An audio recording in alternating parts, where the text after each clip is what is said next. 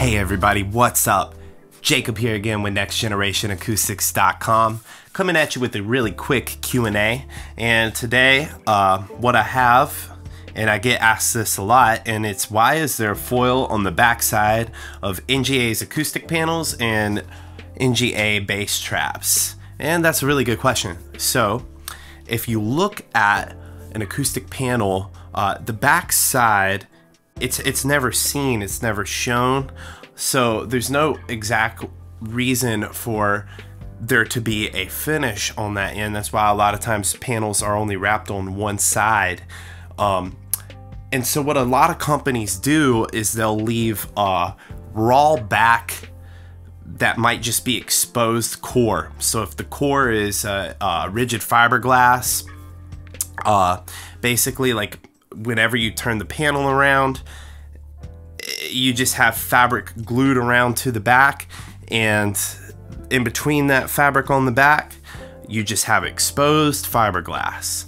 Uh, you have other companies opt for, uh, and, and hold on, before I go to that, the problem with the exposed fiberglass is when you install the panel and the more you keep installing the panel, it keeps on eating into the fiberglass and on the back of the panel and kind of like it, it's it tears apart the structural integrity of the panel from the inside out.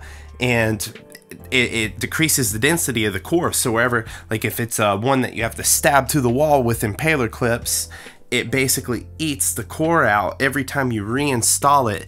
It it it eats away a little bit more of the core, and it decreases the density of the of the material inside, which actually decreases the effectiveness of the panel. So never recommend installing your panels with uh, impaler clips, y'all. Uh, so the next option that you see a lot of companies use sometimes is plywood on the back or just like a wood surface on the back.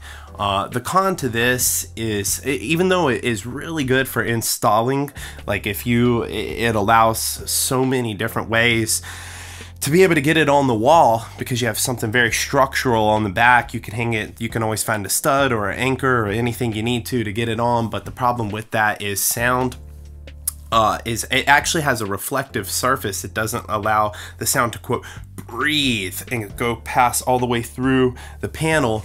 And what you find is if you have an air gap on the back of the panel, or a distance, any, even if it's a half inch, a whole inch, um, any gap at all that allows the, the sound to breathe through the panel is going to increase the absorption coefficient. So it's specifically in the low end and low mids. So uh, it's really good for the installation, but really bad for low end and low mid absorption. So that leads to uh, what we do, and that is a foil backing so with our foil backing, it protects you from the core on the inside of the panel, uh, but it also uh, doesn't have a reflective surface that makes sound come back out. Uh, it allows full absorption of the low, mids, the, the bass, all the stuff that needs to breathe is able to uh, when you have that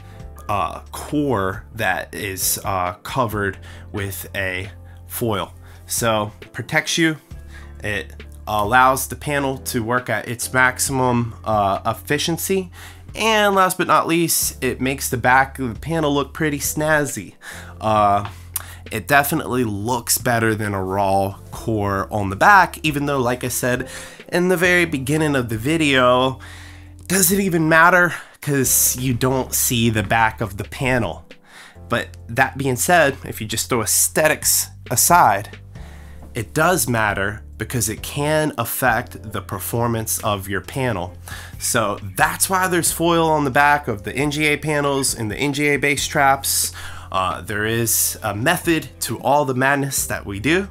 And uh, if you have any questions uh, about our panels, feel free to drop us a uh, uh, email info at ngacoustics.com. Thanks for watching. I'll see you guys again soon in another video and uh, make sure to subscribe.